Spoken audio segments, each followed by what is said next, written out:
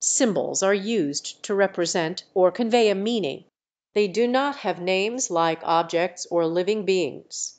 Instead, they are referred to by the name of what they represent or the concept they symbolize. For example, the symbol represents the word and in written language. However, it is called an ampersand because it is a combination of the letters E and T, which used to be written as a ligature. So symbols do not have their own independent names, but are named based on the words or ideas they represent.